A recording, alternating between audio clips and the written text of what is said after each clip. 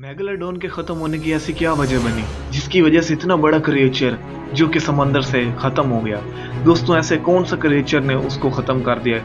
या क्या वजह बनी जिसकी वजह से ये ज़मीन से एक्सीडेंट हो गई? तो गाइज़ इतनी बड़ी क्रिएचर जो कि बहुत ही ज़्यादा ताकतवर थी। शुरू में समंदर का टेम्परेचर बहुत ही कम था, ठंडा पानी होने की वजह से। दोस्तों, मेगलोडोन जो कि गर्म पानी में रहना पसंद करती थी, जिसकी वजह से दोस्तों, उसने ठंडे पानी से गर्म पानी में जाने की कोशिश की।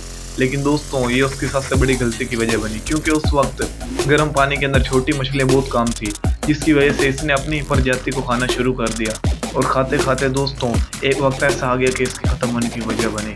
दोस्तों, एक बहुत ही बड़े करेचर का ख़त्म हो जाना बहुत ही ज़्यादा दुख की बात है। दोस्तों, जिसके बारे में हमें सोचना चाहिए। और इस तरह की मोस्ट इंटरेस्टिंग वीडियो के लिए हमारे चैनल को सब्सक्राइब करना मत भूलें।